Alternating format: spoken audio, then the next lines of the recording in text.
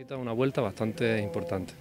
Eh, lleva sin pintarse 20 años, casi desde que se construyó. Necesita al menos otros nueve bomberos. Hay muchos deberes por hacer. Necesita maquinaria y necesita dotación que los propios bomberos demandan. De hecho, ya me he reunido con gran parte de los sindicatos. Esto no es de ahora, lo llevan demandando de siempre. Y ahora hay que buscar esos recursos y ese dinero que realmente se necesita para que esas dotaciones lleguen al parque.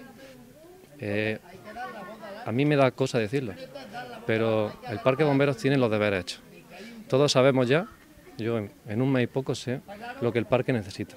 Está todo perfectamente documentado, todo está hecho en el parque. Lo único que falta es voluntad política de hacerlo.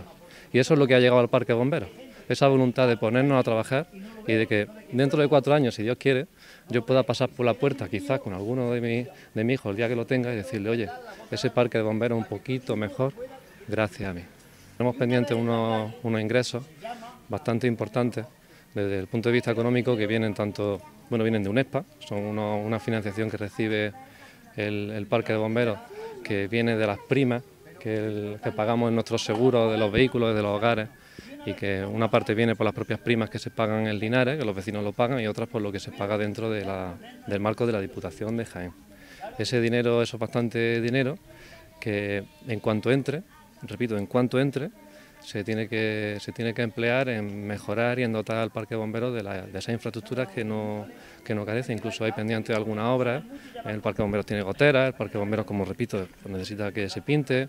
Y es verdad que se han hecho cosas, se han cambiado las puertas y se han puesto unas puertas de seguridad, se han hecho cosas que, sí, que en los años anteriores tampoco han estado parados del todo, pero a todas luces ha sido insuficiente para que tengamos un parque de bomberos digno de los profesionales que tienen dentro que repito, que, son una pasada.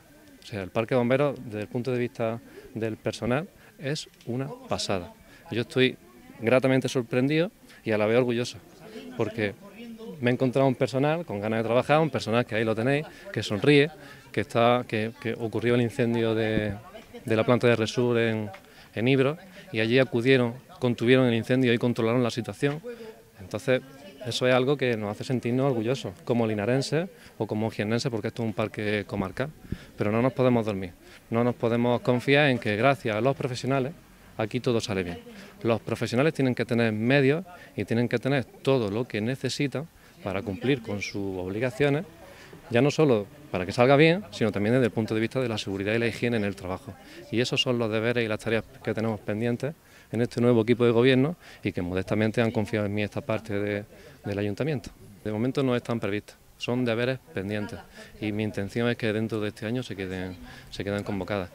Una cosa es la intención y luego lo que consigamos, porque todo esto depende de los recursos y de lo que pueda hacer este ayuntamiento tal y como está, que eso no es, no es algo que dependa solo de la voluntad, o sea, si se puede, se hará. ¿Se puede hacer? ¿Con lo que nos han dejado podremos hacer esto? Yo espero que sí.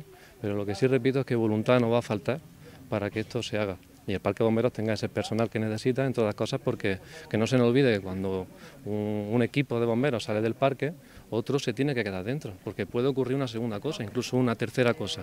Y cuando hay un incendio importante, tenemos a los bomberos cansados.